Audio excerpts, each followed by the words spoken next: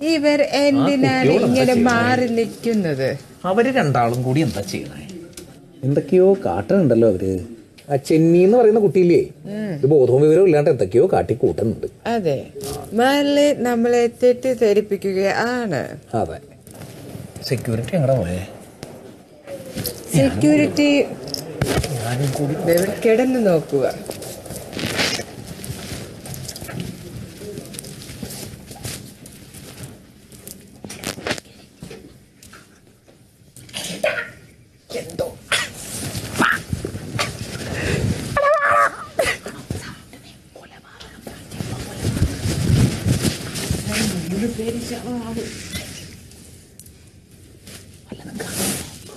അവർ വന്ന് നമുക്ക് ആപ്സിന് കളിക്കാം.